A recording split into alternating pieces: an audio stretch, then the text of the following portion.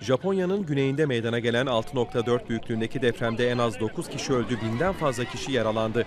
Kumamoto kentinin doğusunda etkili olan depremin ardından 130'dan fazla artçı sarsıntı yaşandı. Tüm bölgede su ve elektrikler kesilirken tsunami uyarısı ise yapılmadı. Japonya'da 11 Mart 2011'de 9 büyüklüğündeki deprem ve onu takiben 20 bin kişinin ölümüyle sonuçlanan tsunami meydana gelmişti.